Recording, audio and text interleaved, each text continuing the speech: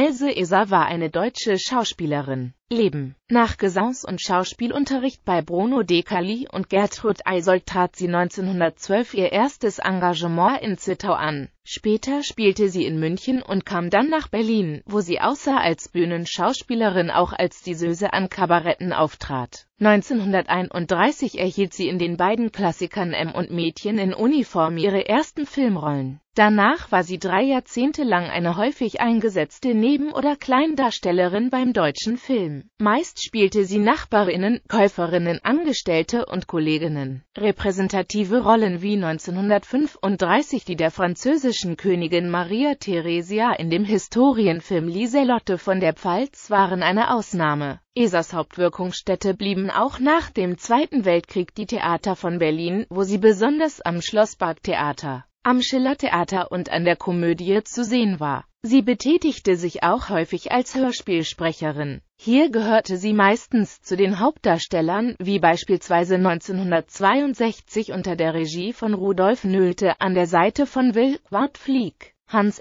Jäger, René Deltgen und Malte Jäger in das Verhör des Lucullus von Bertolt Brecht oder 1958 unter der Regie von Wolfgang Spiel in Zwei alte Damen feuern. Mit Agnes Windeck, Arthur Schröder, Herbert Weisbach und Harry Wüstenhagen. Sie wurde auf dem Friedhof Dahlem beerdigt. Filmografie